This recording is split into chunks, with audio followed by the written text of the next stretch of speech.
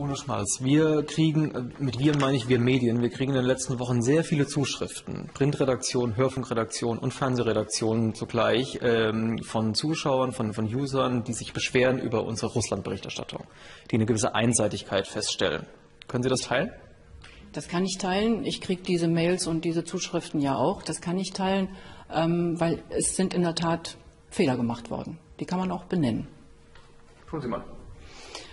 Ähm, ein großer Fehler äh, hat sich eigentlich schon Ende letzten Jahres abgespielt. Man hätte im Zusammenhang mit der Ukraine viel, viel früher das EU-Assoziierungsabkommen, über das ja jeder geredet hat, mal erklären sollen. Äh, ich gehe mal davon aus, dass die meisten unserer Kollegen dieses Abkommen nicht gelesen haben, sonst wären sie möglicherweise über Paragraph 7 gestolpert. Darin ist nämlich von militärischer Zusammenarbeit die Rede, zum Beispiel von Konvergenz auf diesem Gebiet. Also wir die Medien hätten zu einem frühen Zeitpunkt wissen müssen und es auch verkünden müssen, dass dieses Assoziierungsabkommen die Ukraine zerreißt. Das, ähm, das stimmt sicherlich. Was mich, was, das beantwortet aber nicht die Frage, wo diese Kluft herkommt zwischen öffentlicher Meinung und veröffentlichter Meinung gerade. Diese Kluft zwischen Journalisten und äh, Publikum.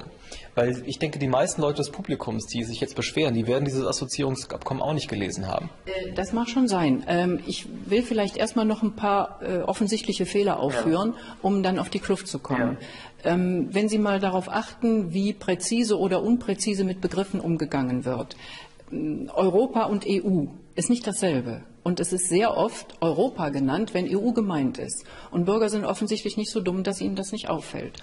Oder in der Berichterstattung über Russland, da weiß ich es nun besonders, bei dem anderen will ich mich nicht aus dem Fenster hängen, ist sehr, sehr oft von wohl, offensichtlich, vermutlich, wahrscheinlich, so in der Richtung die Rede. Die Fragen, die von den Kollegen in den Studien und in den Studios kommen, sind ja auch darauf ausgerichtet. Was glauben Sie, was denken Sie, was meinen Sie?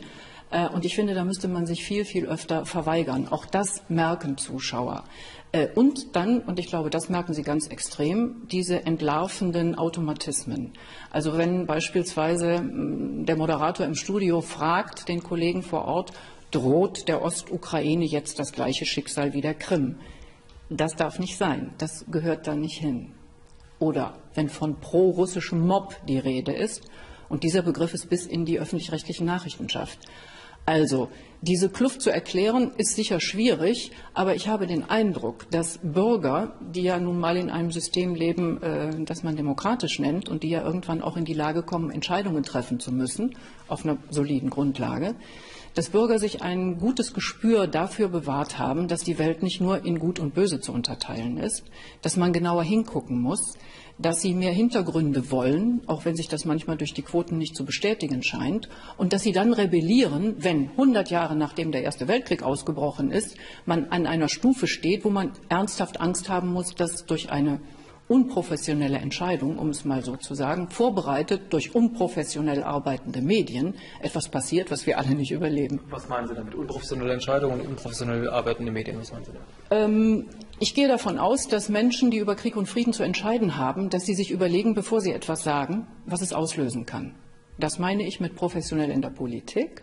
Und professionell in den Medien meine ich, dass wir verpflichtet sind, in unserem System der Demokratie, dass wir verpflichtet sind, Interessen, egal wo sie äh, ihren Ursprung haben, ob in Washington, in Moskau, in Peking, in Brüssel, dass wir Interessen auch beim Namen nennen und den Bürgern darlegen äh, und nicht die einen Interessen weiß malen und die anderen Interessen schwarz malen. Und das passiert mit Blick auf Russland eindeutig. Inwiefern? Welche Interessen müssten wir beim Namen nennen? Das EU-Assoziierungsabkommen ist ja über weite Strecken so dargestellt worden, als sei es eben die Tür in den Westen, in die Freiheit, in das, was alle Ukrainer oder die Ukraine als Ganzes will. Äh, es ist sehr sporadisch und man muss schon danach suchen, darüber geredet worden, dass natürlich die EU auch Interessen hat, die Ukraine rüberzuziehen. Dass dann in einem solchen Moment beide Interessen, die von Moskau und die von Brüssel, eine Rolle spielen, das ist die Aufgabe von Medien, darüber zu reden. Das ist am Anfang nicht passiert. Stattdessen, was ist passiert? Das wissen Sie genauso gut wie ich. Stattdessen ist passiert, dass man äh, Brüssel als Hort äh, der Freiheit, des Wohlstandes, äh, der Chance für die Ukraine dargestellt hat, was ja so sein kann, aber nicht nur so ist und aus Moskau automatisch alles, was aus Moskau kam, äh, mit einem negativen Vorzeichen versehen wurde. Was ja so weit geht, und ich finde, das dürfen Journalisten nicht mitmachen, was ja so weit geht, dass auch Vorschläge, über die man zumindest diskutieren kann, welche Konstruktion soll jetzt die Ukraine bekommen? Wie geht man jetzt damit um? Wie kriegt man es hin, dass EU-Einbindung und Zollunion, Eurasische Union, dass das irgendwie zusammenpasst? Dass wenn solche Vorschläge aus Moskau kommen, dass das dann immer nur russische Propaganda ist, das ist mir einfach zu primitiv in meinem Job. Aber war das wirklich ausschließlich so? Nein, es war natürlich nicht ausschließlich so, aber es reicht ja, wenn der Mainstream so ist. Und äh, was mich äh, erfreut, dass wir offensichtlich nicht nur den sogenannten mündigen Bürger haben, sondern den mündigen Bürger haben, der sich das auf die Dauer nicht gefallen lässt. Aber das heißt, in den Argumenten, die, die unsere Zuschauer, die sich jetzt äh, beschweren bei uns in den letzten Wochen, an den Argumenten haben Sie nichts auszusetzen. Die Argumente teilen Sie. Im Prinzip liegt es an der Berichterstattung.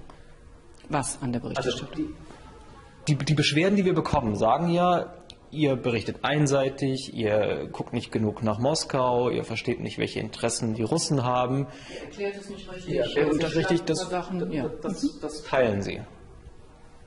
Ja, so wie ich das erklärt habe, so wie ich das erklärt habe, in den Punkten teile ich das.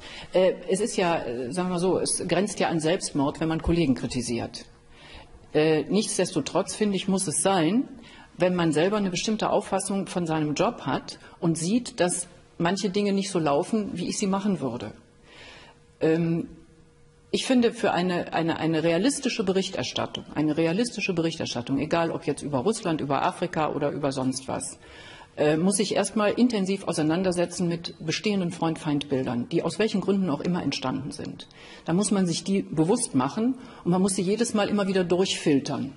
Äh, und dann finde ich, muss man, egal ob einem die äh, bestimmten Protagonisten nun sympathisch sind oder nicht, dann muss man zumindest mal sich anhören, was diejenigen zu sagen haben und nicht das, das ist auch ein großer Fehler der Medien gewesen, für meine Begriffe, der Politik auch, aber mit der habe ich nichts zu tun, dass man von Anfang an Putin nie ernst genommen hat, weil wie der schon aussieht, und der kommt ja aus dem KGB, das interessiert uns Richtung Westen niemals.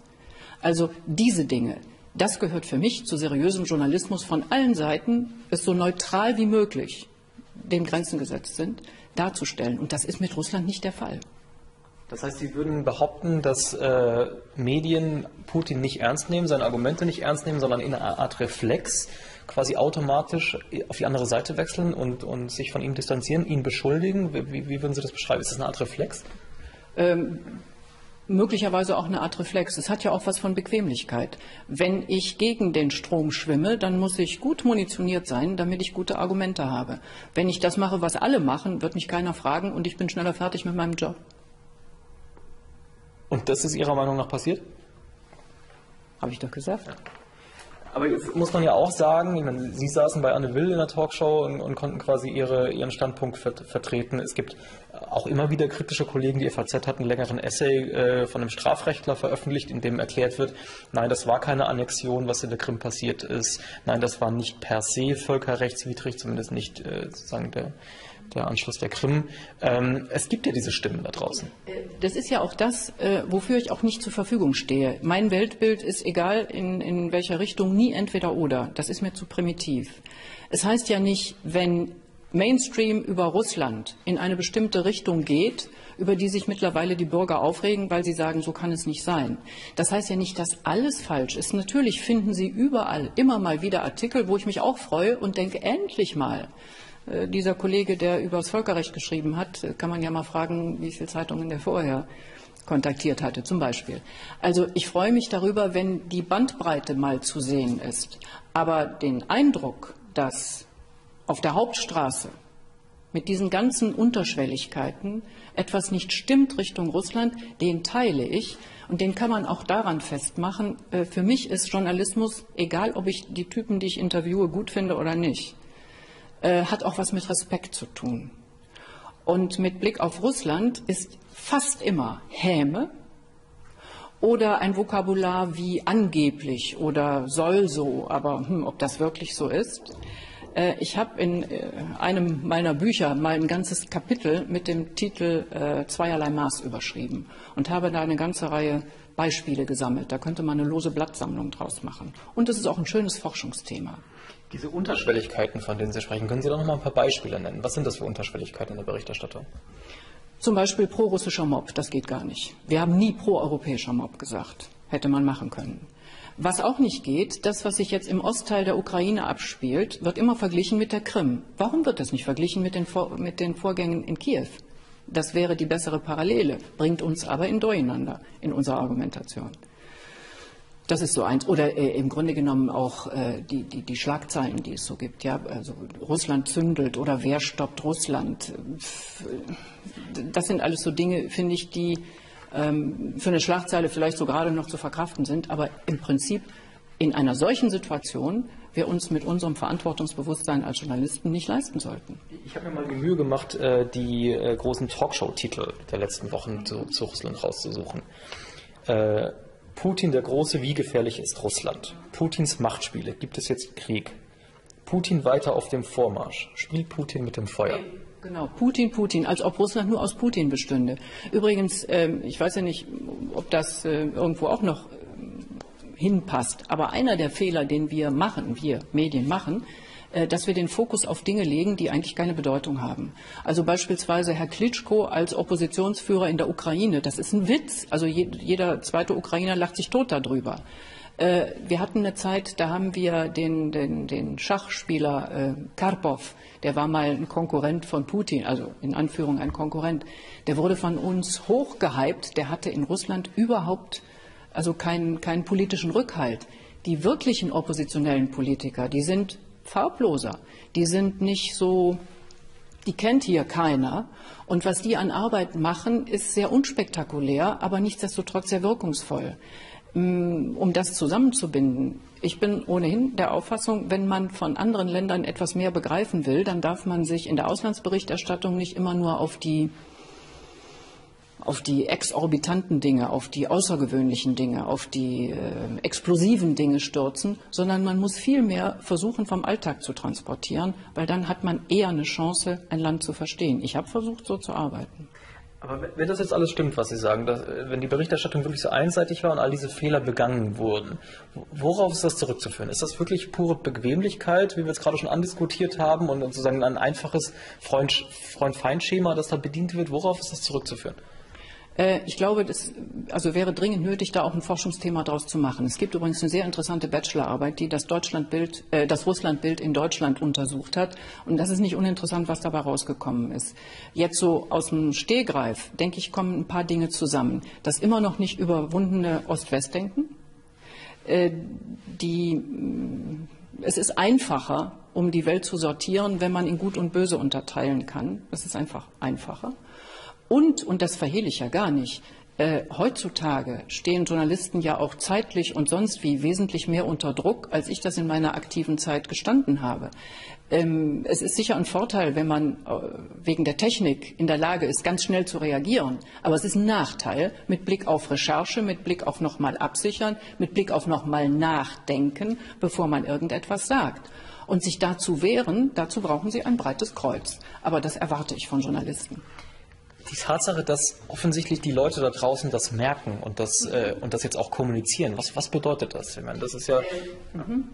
Das bedeutet für mich, ähm, also Hoffnung, muss ich Ihnen ehrlich sagen, das bedeutet für mich Hoffnung, weil äh, offensichtlich es nicht so ist, äh, dass sich Menschen weniger interessieren für komplizierte Zusammenhänge, was ja manchmal äh, aus den Quoten so abzulesen ist oder man glaubt es aus den Quoten abzulesen, äh, sondern dass es immer noch eine, einen Bodensatz von politisch interessierten Menschen gibt, die selber nachdenken, die sich auch wehren.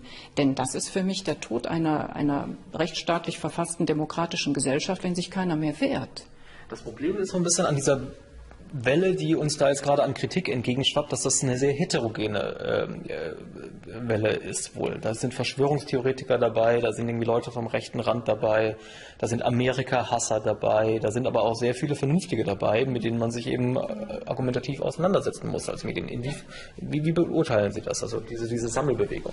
Das ist auch eine ganz heikle Geschichte. Ich kenne viele, auch Kollegen oder Freunde, egal, die sich bei manchen Themen zurückhalten, ganz bewusst zurückhalten, weil sie eben nicht vor falsche Karren gespannt werden wollen. Das ist eine Gefahr.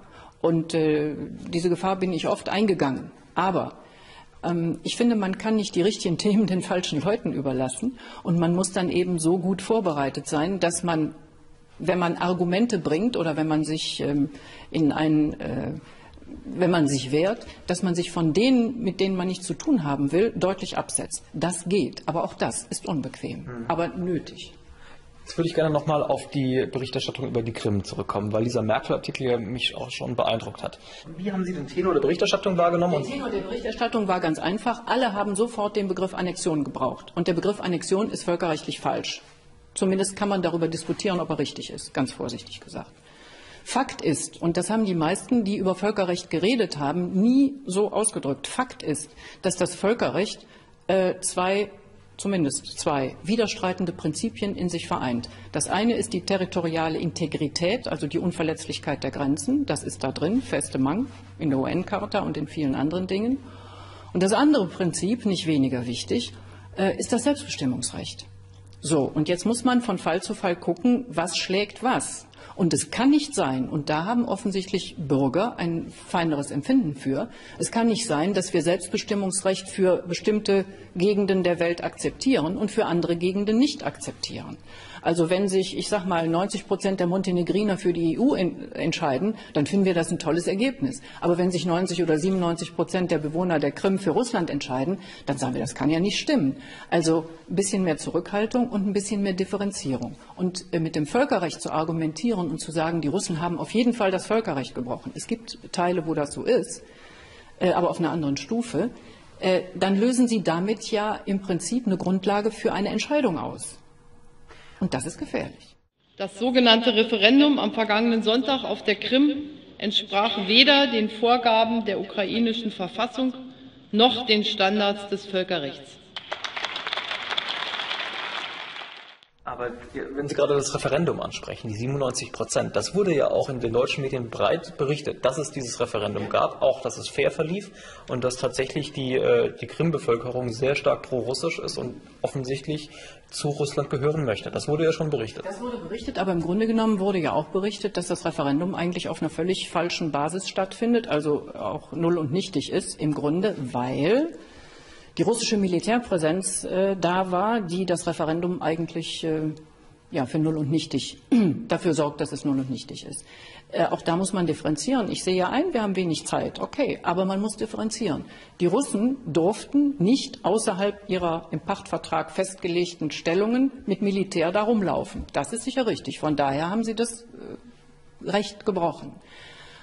Aber das russische Militär, was da rumsprang, war ja nicht mit der Kalaschnikow hinter den Leuten, die da gewählt haben. Also ihr müsst wählen gehen oder ihr müsst das und das wählen, sondern die waren dafür da und das konnte man an Ort und Stelle einfach begucken.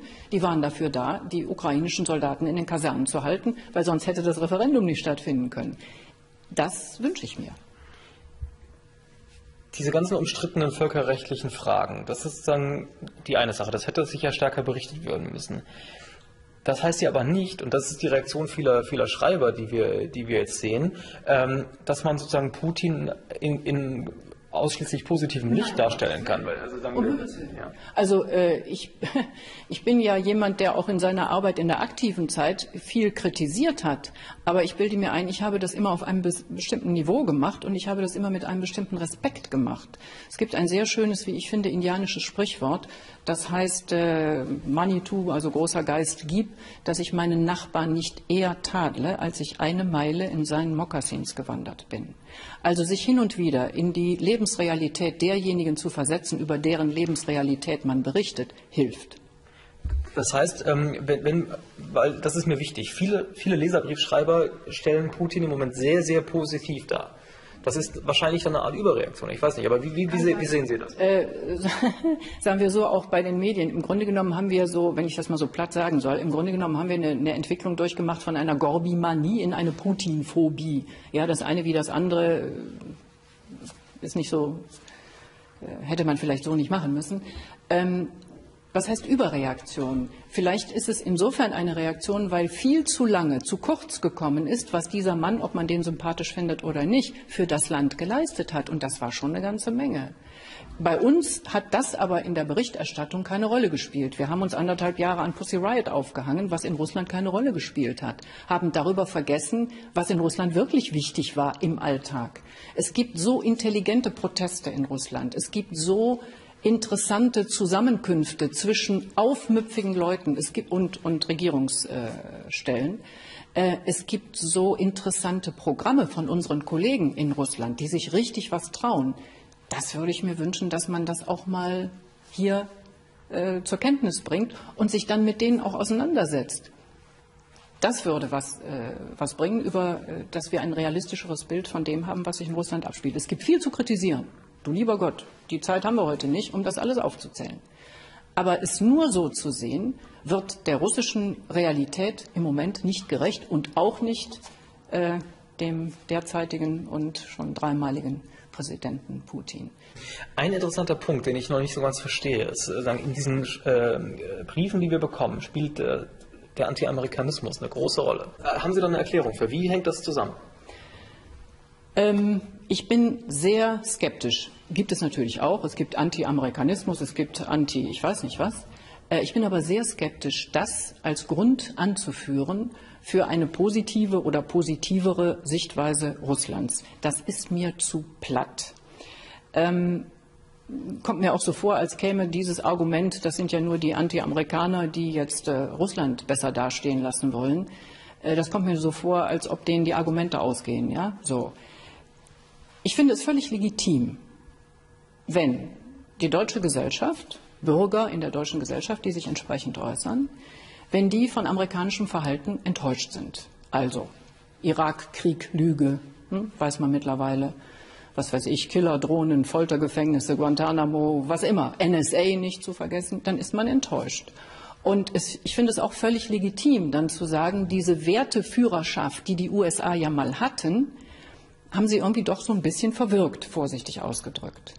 Wenn ich das deutlich beim Namen nenne, wenn ich da versuche, mich zu wehren und zu sagen, ja, halt, stopp, das darf doch so nicht sein, dann hat das für meine Begriffe aber nicht die Bohne mit Anti-Amerikanismus zu tun, sondern einfach nur mit einer realen Wahrnehmung der Welt.